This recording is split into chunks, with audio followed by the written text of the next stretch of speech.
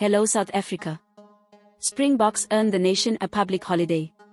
Date confirmed.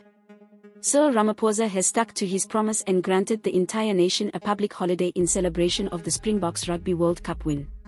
Ramaphosa has decided to make December 15, 2023, a public holiday in honor of the Springboks Rugby World Cup win. I know that many of us want us to have a holiday now to celebrate. But we should all agree that we should give our matriculants time to focus on their exams and celebrate afterwards.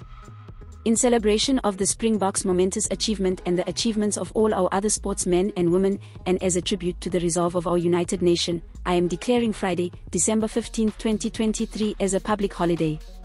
We declare this to be a day of hope, a day of celebration and unity.